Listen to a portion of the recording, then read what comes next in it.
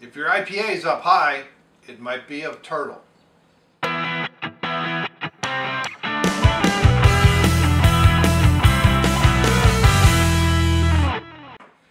Hey, it's Brainmuffin back with a beer review, and here we have from Terrapin a Brew Beer, and beer Company in Athens, Georgia, Up High IPA, Citra Hopped IPA uh, Indiana Pale Ale. So I've already checked into this one. I don't know why. I don't believe I've reviewed this. Hopefully this is not a repeat.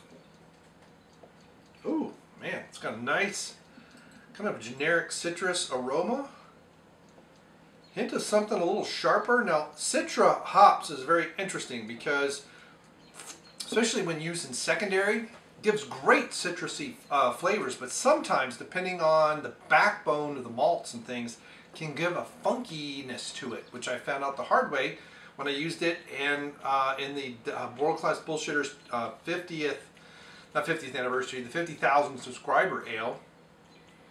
So it had a funkiness I didn't want. So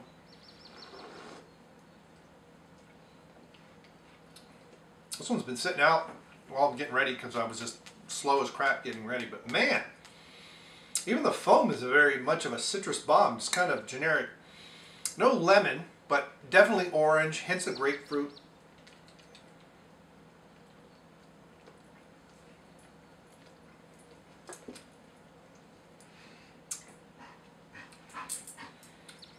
That is a nice citru citry, citrusy IPA. Don't say citra-y because it's citra. Um, up high, verb, a gesture in which two people simultaneously slap hands uh, in the celebration of receiving a Terrapin Up High Citra Hop IPA. So Up High um, capture the majestic citrusy hops that roll off your tongue, uh, like the white caps off an ocean wave. We've got white foam on top. Nice. And uh, sit and wonder, uh, I don't read the whole thing, it's just a marketing crap. It's not really anything informative, although they have a big wave right there. But that is nice, got a nice citrus flavor. It has a very smooth finish, not bitter. Supposedly 80 IBUs, man, that's very smooth. So we have a nice orangey color, kind of a goldy orange, a little bit cloudy, a little bit of a chill haze. But it's not chewy, so it's not a juicy IPA. Now some of that is my glass. It's very humid today. We had storms all afternoon.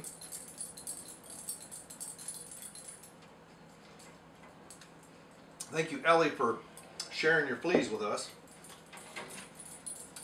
Man, maybe because I've had it sitting out for a while and the malts have really opened up, but it has about mid-mouth, it has hints of bitterness. It's a very smooth finish and very light. There's some lingering bitterness in the aroma.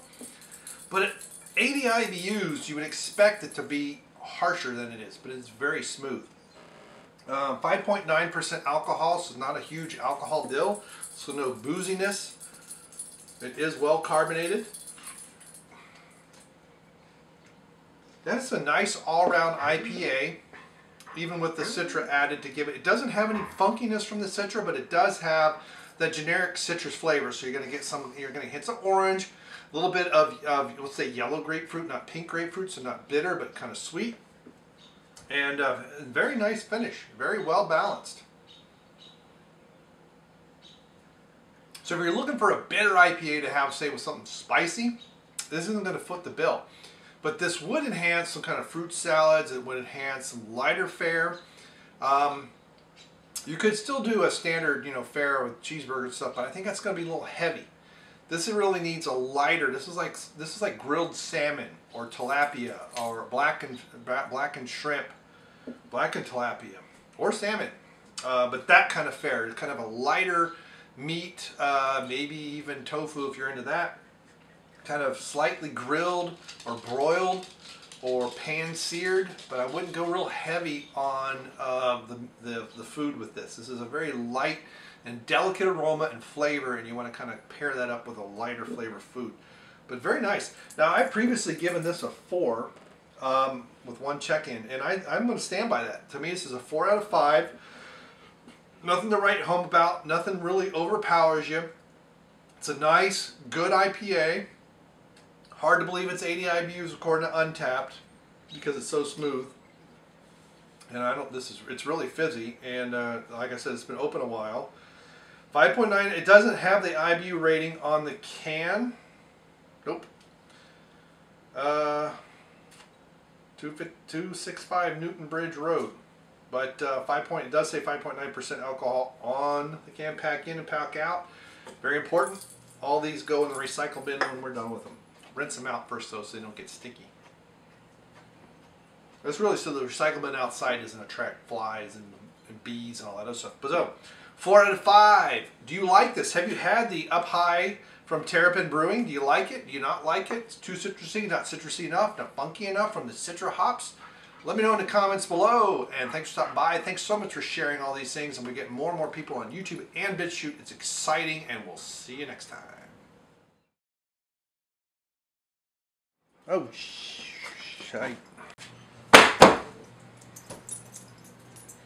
All right, let's see if my head's cut off or not. We're ready to rock and roll. Schmeck or Dizzy Gecko.